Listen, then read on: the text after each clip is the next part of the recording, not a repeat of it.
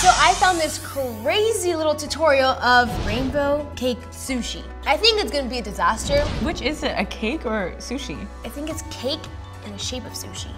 Oh. I'm so excited though. You know I think this is gonna be so good. Let's get started. So what you're going to need is some white cake mix, some vegetable oil, water, eggs, and sour cream. Also, you're gonna need some frosting, Cool Whip, food coloring, and sprinkles. So, let's get this started. So the first step is you have to preheat your oven to 350 degrees, which we've already done. So next we're going to be taking our six eggs and cracking them into the bowl.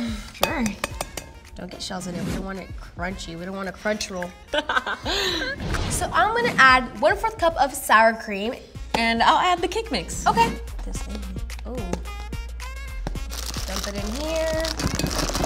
Got and it. then we're gonna do one fourth cup of vegetable oil. Oh, that is a lot of oil. Okay. And then the water. So I'm going to beat the eggs now for five minutes, so wish me luck.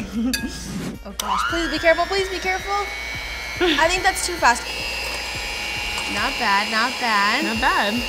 So this looks pretty good. Good job. So let's just add in the cake mix now. Okay. Whoa. I love batter. Oh. I made sure to beat it very well to make sure there's no lumps in there. And now we are gonna take some cake batter and put it on these separate bowls and add food coloring. So we're gonna take half a cup. So at this very moment, I have this feeling that it will work out. The only thing that has me like, what the Like is this sketched is out? the sour cream for sure. Yeah, definitely. But like, batter you don't taste great. it in the No, batter. yeah. Like you don't taste But it. the batter looks great. Mm-hmm. So we just have to get the colors right and then we'll be good. How does it taste, sister? So good. I could be I could literally eat all this bowl. All right, so now that we placed our cake batter into separate bowls, we are now gonna add some dye, right? Yes. So you want to do red, orange, yellow, and I'll do green, blue, purple? Yeah, let's do it. Alrighty. One, five. You have to do five jobs. Three, four, five. Okay, there's the green, the blue. We're just gonna keep on mixing these up and try to get the color that we really want. So now that we put our cake batter into these cute little bags, we are now gonna pipe it into these pans. So next we're going to be snipping off the ends and start piping. Pipe it up, okay, it has to be very small. and you gotta make it at an angle. Yes. Okay, this is looking awesome. I don't think this is gonna work. I really, yeah, this is not gonna work. What about you, Shany? What do you think? I don't know. I don't want to like, you know, say it's not gonna work. Cause what if it does work? But I'm having a good time. mine are so runny. So now that we're done, let's place this in the oven for about 10 minutes and just see how we did. All right, guys. So we just took out our cakes, and uh, now we just put it on a kitchen towel that's lightly powdered, and we're just gonna like roll it so it can get that like sushi effect. Yeah, and mine was in there for too long and just burnt, but Shany's yours looks so good. Thank you. I'm kind of surprised. Okay, let's try to roll this. Okay. But don't break it or anything. All right, guys. So now we're gonna let our cake set like this for 30 minutes. Yeah. So now we're just gonna add our Cool Whip into the center and start rolling it up. Woo. And if you guys are curious on how we made this, all we added was some sprinkles, Cool Whip, and some frosting.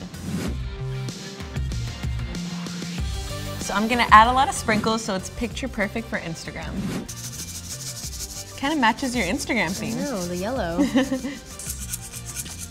Sprinkles just make everything better. I mean, Honestly. we finished all of those. All right, mine just seems to just be breaking by the second. Oh, mine looks like a burrito. Good. Yeah, yours kind of does. They kind of look like What burritos. kind of sushi roll is this? Okay, put it on the plate. Put it on the Put plate. on the put on the plate. plate. I'm just trying to see. Honestly, this really had potential. Like I saw it.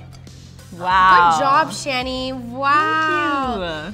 I love rainbow stuff. This is so cool. And honestly, they don't look that bad. Mine looked pretty bad when it was laid out, but now like this, it looks pretty good. And I'm just Yeah. right about ready to taste it. Now the real test, the taste test. It looks really cool, but we're gonna see if it tastes really good. Yeah, let's put it to the test Yes. and see.